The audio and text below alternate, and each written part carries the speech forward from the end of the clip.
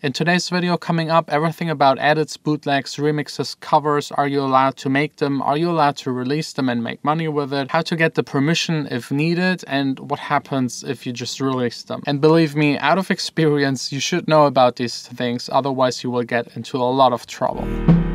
Take me to the promised land. This was your final warning. Don't act like you're the last to know. You had the chance to save her, be her savior. Now leave her alone. Hey guys, welcome to the studio. Yes, the drone is back. If you haven't noticed, I already got back a couple of days ago to do those nice intros for you and just because flying is so much fun. I just checked at home your demos. As you know, I have a label, the Axsens label. The past releases were all quite successful. I had like a quick summer break in between that is now over on the 17th with my own release and then two more releases following. Maybe a fourth one this year and then like three, four more next year. By the way, if you're interested to send me your tracks, the link is down below in the description where you can send the demos to. I will listen to every single track and send you an email back to let you know that I've listened to it and if I like it and it fits to the label. As an artist, I know how it feels to send out demos to labels and never get a response. So I'm definitely not doing that, but while going through the demos, I realized that a lot of people send me actually songs that, that are impossible for me to release because they're either edits, remixes, they have like elements in them that are not allowed. So I thought about addressing this in today's video, explain you everything about edits, covers, remixes, how to get them actually released, if it's allowed to release it, when it's allowed to release it, and everything that is behind it so that you know if the song that you've made that is using someone else's material is actually legal to put out there. And you will probably not like the answer. First up, let's actually start with like a little history lesson, just really quick, because actually the first thing that was done were bootlegs. I can guarantee you now that I'm trying to find one, it will be impossible, but somewhere here in my record collection are a couple of, of bootlegs.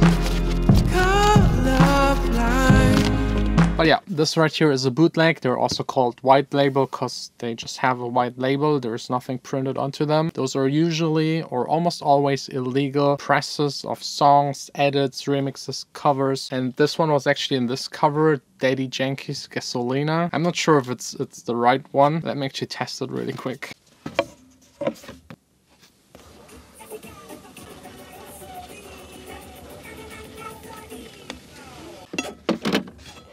So yeah, it's actually Gasolina.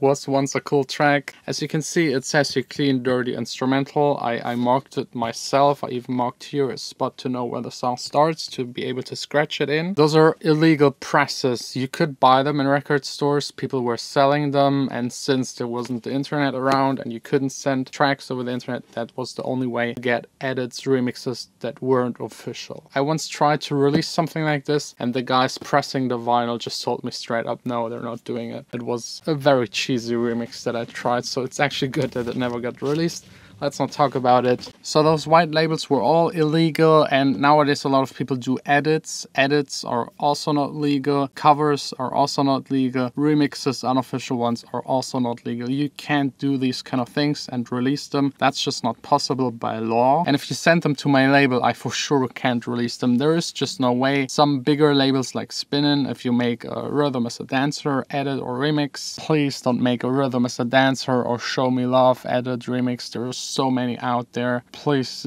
no more of them. I actually also made once a rhythm as a dancer edit, but I never released it, luckily. Let's actually start with the first one, and that is like a cover. It's the most effort, so you have actually to get someone to sing the same lyrics as in the original and the same vocal melody. And if you do so, it's basically all your track. You got the rights to the master because everything that was recorded is the master recording, the one that is then released, and it's all your rights because you've made it. But the lyrics and the vocal melody is not yours, that's copyright protected, and you will have to ask the publisher that owns the rights to it. Usually, if it's a huge hit, a publisher owns it.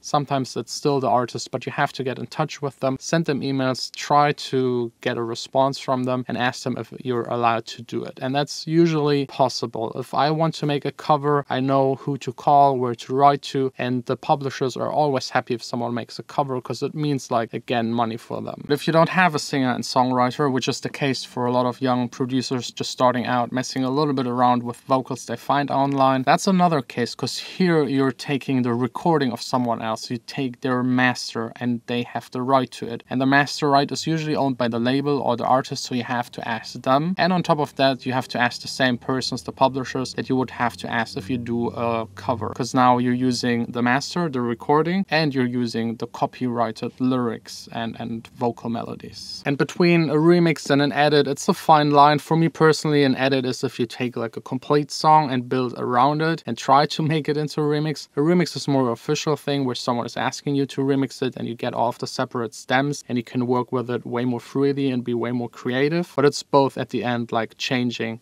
the master and also using the copyrights. And if you're asking yourself what happens if you still release it without asking them and without having like the official allowance, all of that is coming up after like a short break. I have to take care of all of the business stuff, work on some music, promote my final warning. No, not final warning, my we run a track that is coming out on the 17th of November. So time to get started making music. Turn it up, turn it up, feel the high feeling now we're running.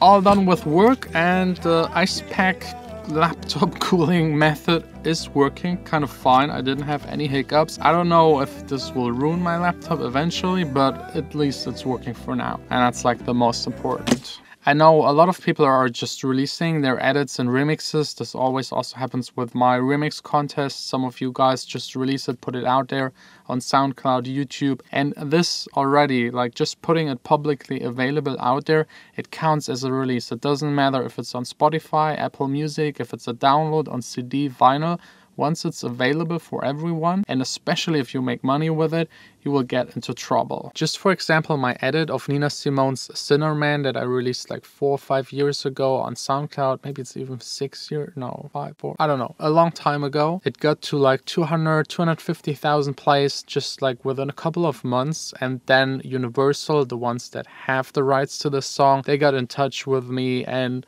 let me tell you, it wasn't that pretty. They gave me like two options. One, they sue me. And number two was I sign a contract that the edit belongs to them. They get all of the money and I'm not getting sued. So, of course, I signed it. It then got officially released on Universal, which made me a little bit proud because I mean, yes, Universal, huge, major thing. And that's also how I got in touch with them now. They actually signed me to their publishing. So, it was an important step and I don't regret it. But still, keep in mind, it's actually not legal, but in most practical cases, you won't get into trouble. Either your song doesn't get a lot of plays and no one cares about that, or your song makes a lot of plays, and then usually those people that own the rights will contact you and make you an offer you can't refuse. I was even kind of lucky. They gave me like a, a very small percentage share. I'm legally not allowed to talk about it, but it's less than, than a percent. And even the percent is capped to an amount that is absurdly small. It's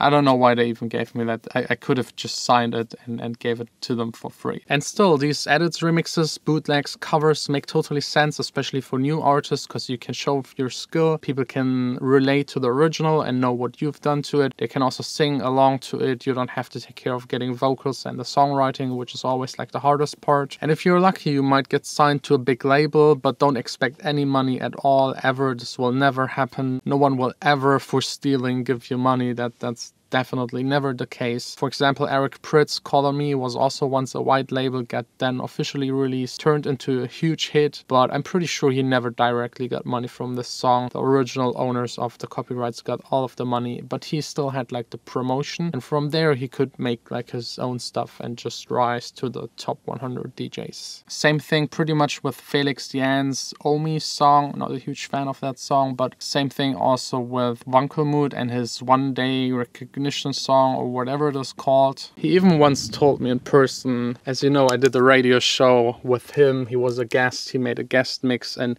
and he told me the entire story behind it and yeah, was a lot of trouble, a lot of lawyers. I think even in his case, the, the edit was so huge that Sony begged the original artist, who's from Israel, to actually release it, but he didn't want to because he didn't like it, I think. So it took them a while, but I think they solved it just with like giving him a lot of money. Yeah, that usually helps. So making these things is illegal. Just to let you know that if you release it, it's your own risk Usually nothing happens. Sometimes they will just block it, ban it, or take it down. This happens on SoundCloud and YouTube, and you might get a strike. If you turn it into a huge hit, get a lot of plays, the big labels will come. Don't worry about that. And some companies are working on solution. I think like I think Mixbank or some other platform where you can actually do edits and remixes, and they will distribute the shares to the original right holders, and you will get a small share. I don't know how far they are, but this is definitely a modern solution because now nowadays everyone is just used to take everything they can get and do whatever with it what they want. But still be careful.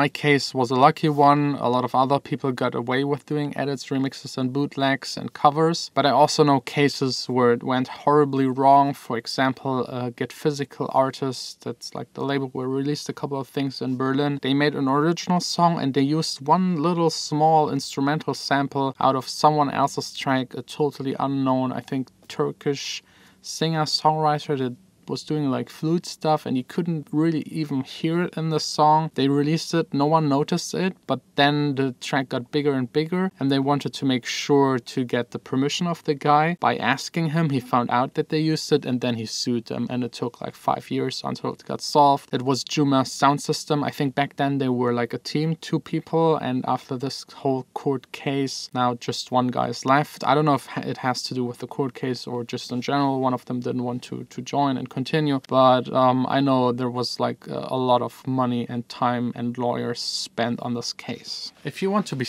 safe, take the safe route and just try to get in touch with the people. Ask them, send them your version, ask them if you're allowed to use it. If they say no, definitely, definitely never ever release it. This will get you in a lot of trouble. If they don't answer, keep at least the proof that you sent them the emails and try to get in touch with them. This might help you if it ever gets to a court case. I hope you enjoyed today's episode. I wish I could go outside and fly my drone more, but it's like pitch black. I hate this daylight saving time. I think no one likes it and no one understands why. It's just making the day shorter by one hour. I don't get it. So let me know in the comments what you think about this topic. Edits, remixes, covers. Do you just release them? Do you get the permission? Did you ever get into trouble? What's your opinion on this matter? If you have any questions left or I forgot something important, just let me know about it in the comments. I will try and answer it. Don't forget to like, subscribe. We will see us tomorrow again here in the studio. As you know, know this is a daily thing. I hope you're joining this daily vlog DJ producer life because I think I'm the only one that is so stupid to do a daily vlog for almost 500 days about music production, DJing. But I'm really glad that you're joining this, that you've watched the video up until to the end. Thanks a lot. We'll see us tomorrow again. Sign out. You can actually not imagine how these records smell. A couple of years ago where I was DJing with the records, someone spilled a tiny bit of beer into some of my vinyls so you still get that strange late in the morning after our booze kind of club smell.